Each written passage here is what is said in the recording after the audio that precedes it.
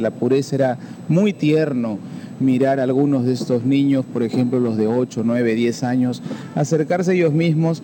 Me llamó mucho la atención que como un gesto de cariño, sabiendo que las personas normalmente valoran mucho las flores que han estado en el anda del Señor, el, nuestro mayordomo, el hermano José Soto, dispuso que casi todas las flores que había en el anda se entregasen a los niños.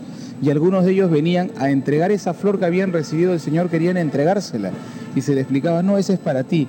No, yo quiero regalarle esto al Señor, esto es lo que yo tengo ahora. Entonces un gesto de ternura, de desprendimiento, eh, que se veía en ellos una pureza en su fe y que realmente yo creo que nos ha conmovido a todos. Sí, la, verdad es que a veces yo pienso, un niño debería estar exento al dolor, pero bueno, no es así, por algo será. Exacto, no es así, yo creo que el dolor también es una escuela, San Juan de la, San Juan de la Cruz, un santo carmelita, solía decir, ¿qué sabe el que no ha sufrido? Para indicarnos que siempre el sufrimiento, aunque costoso y doloroso, siempre es fuente de enseñanza. El, ha dado la vuelta ahora. Así es, como sabemos, muchas veces lo hemos recordado en otras transmisiones, parte de la guardada es el hecho de que cada sector de la cuadrilla dé una vuelta completa al anda. El primer sector de la cuadrilla décima que está guardando está dando la vuelta a la imagen del Señor y por eso ha habido todo ese disparo de bombardas, de cohetes, para saludar este momento en el que el primer sector hace su guardada. Porque si bien es cierto que guardar nos evoca pues el hecho de que la imagen entra en la iglesia y se queda allí, pero la ceremonia, llamémosle así, que en la hermandad se llama guardada, comienza desde que levanta el primer sector de la cuadrilla que guarda. Entonces este primer sector ha hecho o está haciendo su guardada con esta vuelta primera que ha dado y luego continuará, imagino, unos metros más hasta entregar el anda al segundo sector de la misma cuadrilla. Es usted el guía espiritual de todos estos hermanos de las diferentes cuadrillas. ¿Cómo se ha preparado específicamente la cuadrilla número 10 para esta guardada?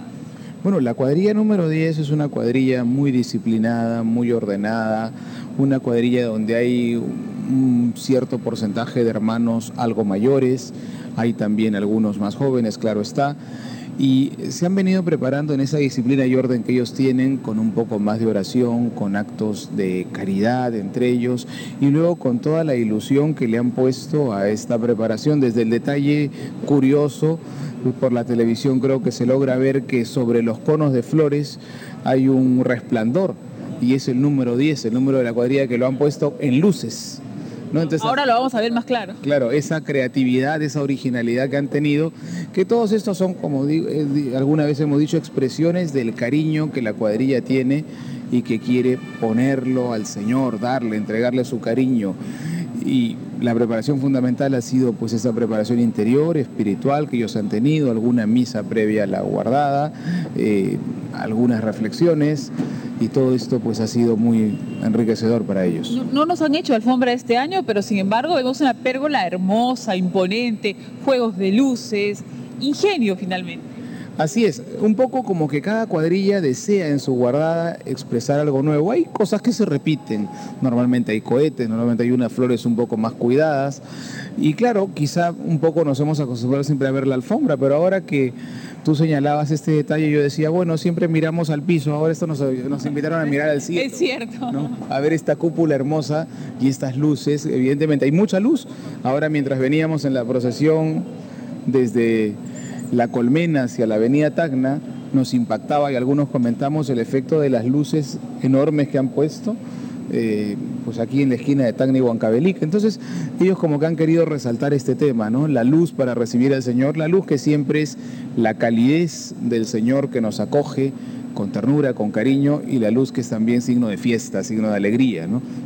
A mí, a mí, me conmueve también particularmente la cantidad de gente que viene a esta hora de la noche a acompañar al Cristo Moreno. ¿Se ha acrecentado la fe católica? ¿Cómo ve usted que va progresando? Yo creo que la experiencia del Señor de los Milagros, ¿no? no solamente la fe católica en general, sino esta particularidad que le llamaría yo la experiencia que hay con el Señor de los Milagros, es una experiencia que crece cada día en, en el país y fuera de él. Porque yo diría que la experiencia del Señor de los Milagros se resume a dos cosas muy puntuales. Y es, primero, yo pido, yo pido, yo suplico, y en segundo movimiento, porque me siento escuchado, agradezco, alabo.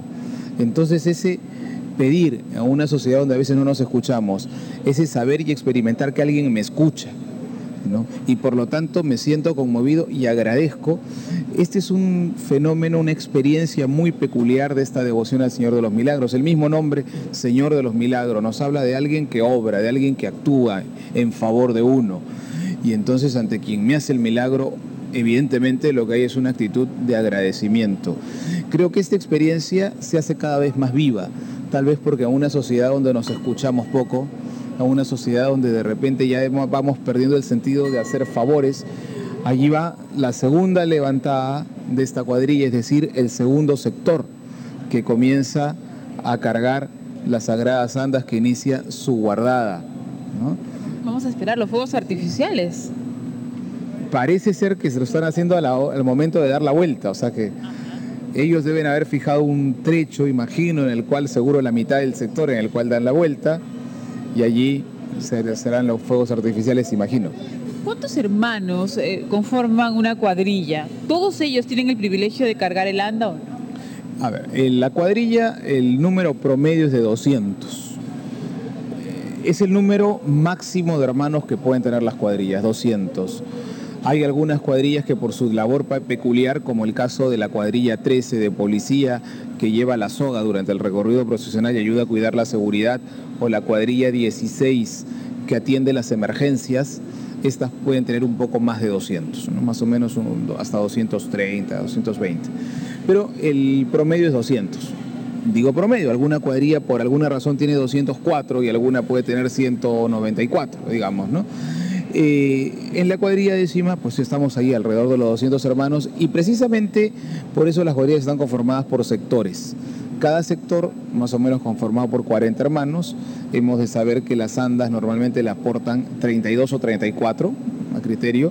Entonces, si son 34 y 40 los de un sector, significa que hay algunos, normalmente son los más nuevos, los que recién han ingresado, que comparten el trecho que tienen que cargar, si son pues 60 metros, carga 30 cada uno. Entonces, eh, la pregunta que me decías, si todos los hermanos de la cuadrilla normalmente cargan las, las, andas si están en condiciones de hacerlo. Claro, es una experiencia muy enriquecedora para ellos, una, una, experiencia espiritual y un privilegio. Un privilegio también para los que ya son mayores, para los que pasan de 60 años, ¿no es cierto? Porque como usted me lo ha dicho en anteriores ediciones, puede ser su última cargada, su última bordada. Así es, para todos podría ser la última porque no sabemos nunca cuándo es el día y la hora, como dice nuestro Señor, pero evidentemente, según siguiendo la lógica, diríamos, normal de la edad y de la vida, hay algunos hermanos que pues si tienen 60, 70, pues probablemente ya no volverán a guardar, siendo que las guardadas son cada 10 años. Por otra parte, la hermandad tiene una norma que hay una edad de jubilación. El hermano a los 75 años deja de ser hermano activo y pasa a ser hermano jubilado lo cual significa que ya no carga las andas. Entonces, evidentemente, si algún hermano pues tiene 72, 73, evidentemente esta es su última guardada. Así viviera, digamos, muchos años más, porque ya pasa la jubilación. Bueno, se, nos va, se nos va acercando esta sagrada imagen y qué bueno haber podido retomar este año este privilegio de poder transmitir en vivo esta guardada 2010 porque es una experiencia realmente invalorable que uno guarda en el corazón. Es un privilegio, porque mucha gente nos mira en el extranjero y quisiera estar aquí, ¿no? Bueno, pero lo que hacemos un poco es llevarles, llevarles a través de las pantallas esta, pues, esta guardada que es lo más impresionante y lo más religioso que se puede esperar. Así es, alguna, en alguna ocasión alguien dijo que el Señor de los Milagros era el gran misionero de Lima. Estábamos en un momento de la gran misión, la gran misión convocada por el señor cardenal Juan Landazuri hace algunos años, previa a la visita del Papa Juan Pablo II. Y entonces eh, alguien dijo, ¿no? Pero el gran misionero es el Señor de los Milagros. Porque ciertamente el misionero es el que anuncia el amor de Dios, el que anuncia un mensaje de salvación. Y la sola presencia de esta imagen del Señor convoca, conmueve, atrae, anuncia un mensaje. Y desde esa perspectiva, pues es hermoso saber que Él siempre está congregando y convocando, como has señalado tú ya antes, cuánta gente hay, no obstante que ya pasamos la medianoche y cada edición que hemos tenido es esto. Ahora, este gran misionero de Lima, yo diría, es el gran misionero no solo de Lima, sino el gran misionero de los peruanos y de los limeños. Y qué bueno que por las ondas de América Televisión agradecemos este gesto que me parece que es el sexto año que ya... Así es, sexto, sexto año consecutivo. Consecutivo, al principio solo una de las fechas y luego las dos fechas de guardada. Ahí sin duda debe haber comenzado la vuelta del segundo sector y por eso los fuegos artificiales.